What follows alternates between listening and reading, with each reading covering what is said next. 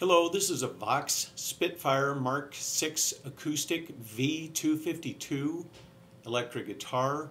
Uh, the uh, serial number on this is 71327 and the uh, serial numbers on Vox guitars, as I understand it, uh, is a little bit sketchy, but my guess is that this is from about 1966 to 67.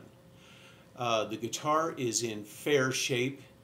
This doesn't show it, but there is some finish checking. Yeah, you can see a little bit there. There's some finish checking.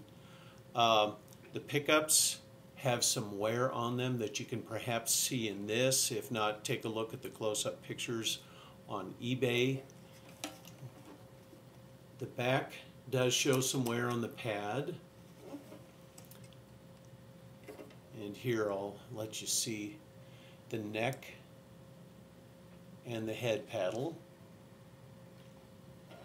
On the back is a sticker that covers up the Made in England. Uh, that was this was evidently spent some time in Germany. Uh, the Made in England, you can just see the very end of the D there. So I know that this is a uh, English rather than an Italian guitar. Uh, the A string tuner does not work well and needs some work. So the guitar will tune up, uh, all strings will tune up except the A. So you, you need to know that. Uh, the vibrato arm is in good shape. It does work. Uh, the guitar, all three pickups are working just fine.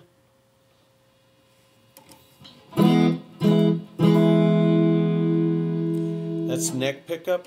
Here is middle. And here's bridge.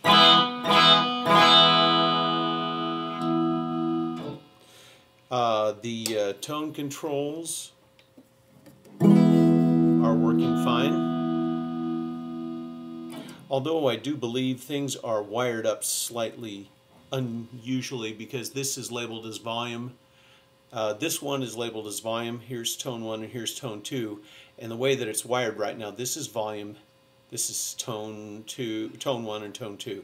So the wiring is not what I would have expected, but the controls do work.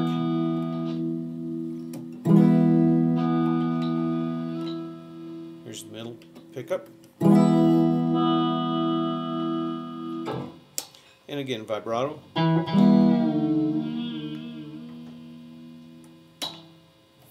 So, that's basically it. Thanks for looking, and happy bidding.